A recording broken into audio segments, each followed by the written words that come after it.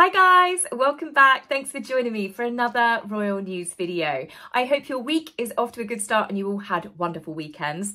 I slept like a baby at the weekend because I had been so stressed about the dog Chia being sick and then the nervousness of going to Castle Goring and interviewing the fabulous Lady C. Obviously that turned into a big adventure but it was ever so uh, draining with worrying about the dog and then editing two lots of videos. It was just a very very cool experience, but I was truly exhausted. It got to Saturday night and I realised I hadn't even had a glass of wine. I had about two glasses of wine and out like a light.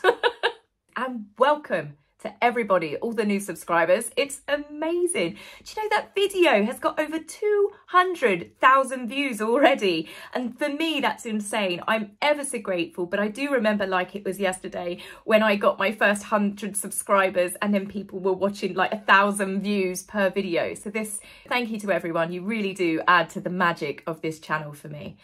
So, speaking of which, let's get on with some royal news and we're going to start with an anniversary. Today is actually King Charles and Queen Camilla's 19th wedding anniversary. I personally think that those two have an incredible love story and whilst people did obviously get hurt as what happens unfortunately when there's children, marriages and affairs and much the like, they fought tooth and nail in life to be together and for the public to accept the union.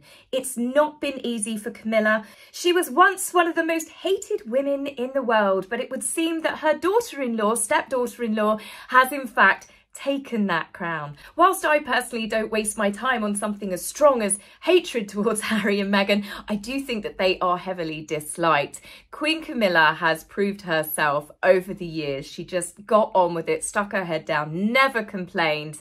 She just took it all on the chin, turned the other cheek, and here we have her now, where she has earned a lot of the public's respect and admiration. And it's very clear that Charles and Camilla absolutely adore each other. I really like watching them as a couple. They always seem to be laughing and joking to the point of hysterics sometimes. And that to me proves that those two are quite clearly the best of friends. I can imagine that they have also been a great support to each other as well. Camilla has been Charles's rock through not just the loss of Prince Philip, but also the Queen, the horridness of horrid Henry, and then of course becoming king and she becoming his queen consort and now with the cancer battle. I know that some people will never ever warm to Camilla and that's absolutely fine. But for me personally, I really, really like her and I wish the king and the queen a very lovely and wonderful 19th wedding anniversary. So let's move on to another special anniversary event.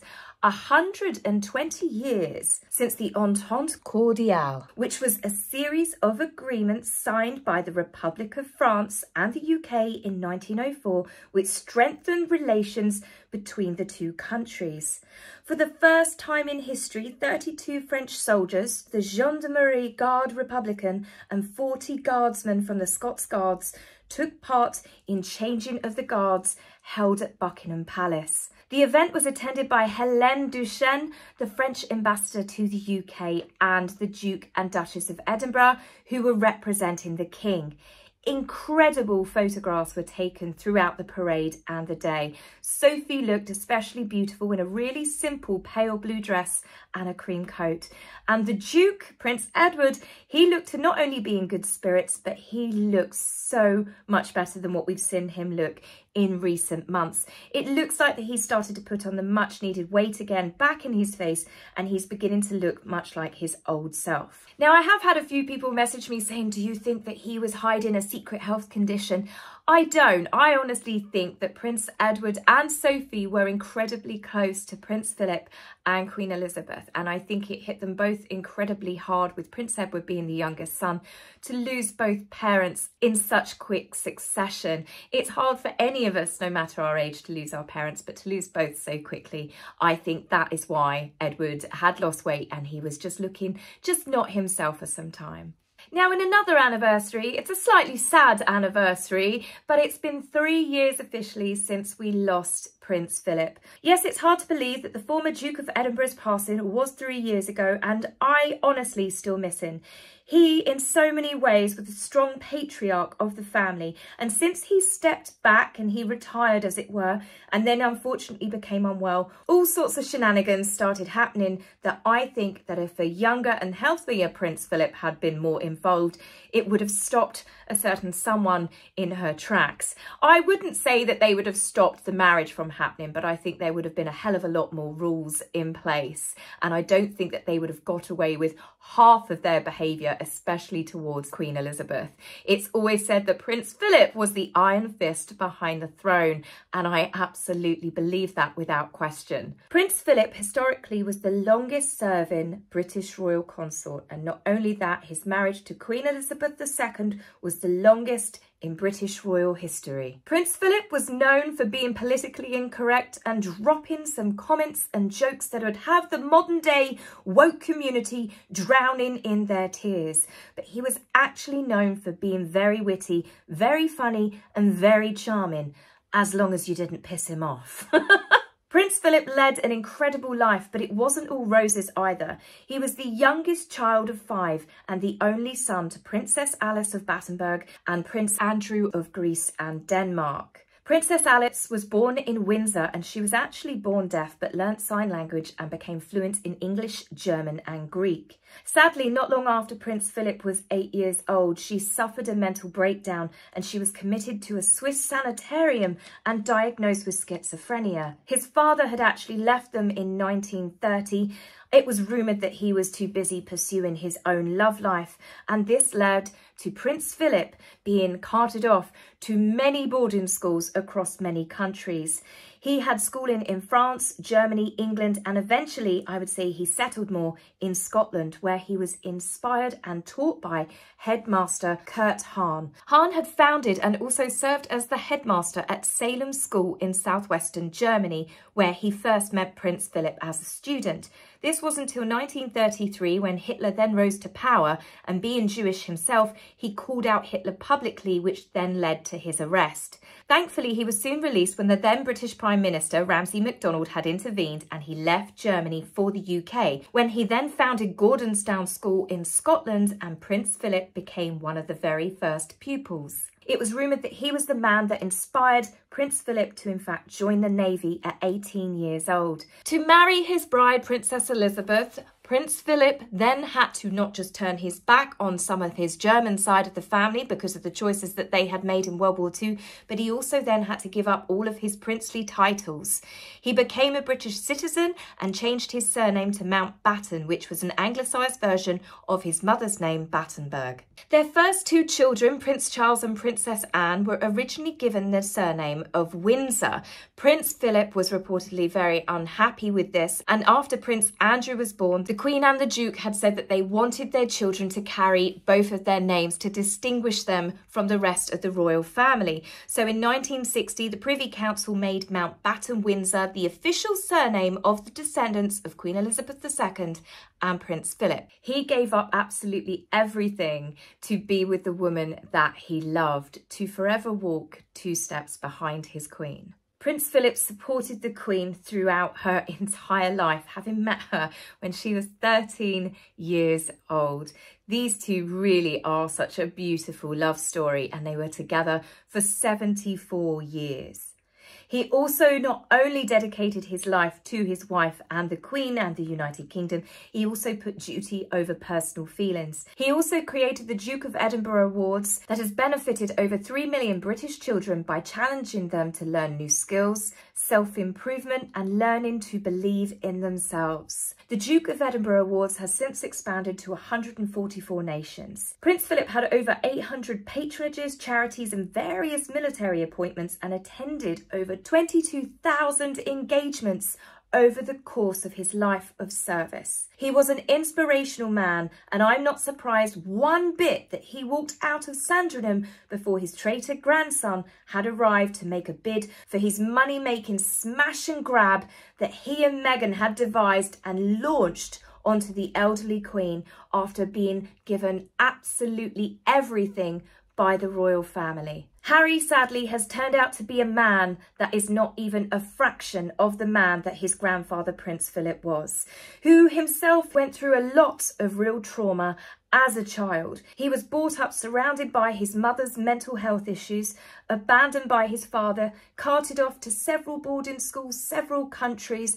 He fought in World War II and had to turn his back against certain family members due to them being on the wrong side. And yet he has never complained. He gave up everything to be with the woman that he loved and he dedicated his entire life not just to her, but to her country and to the Commonwealth and has spent many years using his platform, his privileges and his experience to help others and leave a legacy that will now live on through his youngest son, Prince Edward.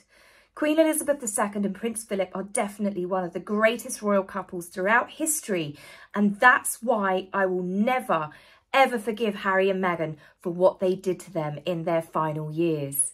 I will never forget that Meghan said that the palace made up Prince Philip's ill health to try and muzzle her from speaking out on Oprah. And then after his passing at his funeral, telling the newspapers, telling the media outlets or her mouthpieces to do her dirty work, which wreath was actually hers, which flowers that she had handpicked and why she had chosen them to be displayed. Meghan somehow didn't have enough respect to come to Prince Philip's funeral, but she would in fact make sure that the media knew that her presence was there and involved in some way. I also will not forget sources close to the couple who complained that it was bad luck because of Prince Philip's ill health and his passing that had overshadowed their Oprah interview. Translation, they were blaming Prince Philip for the backlash that they got for doing that Oprah tell-all and then they blamed archetypes flopping on the Queen's passing. This was leaked to the media by sources and friends of the couple, which we know is Harry and Meghan's favourite way to communicate their true feelings.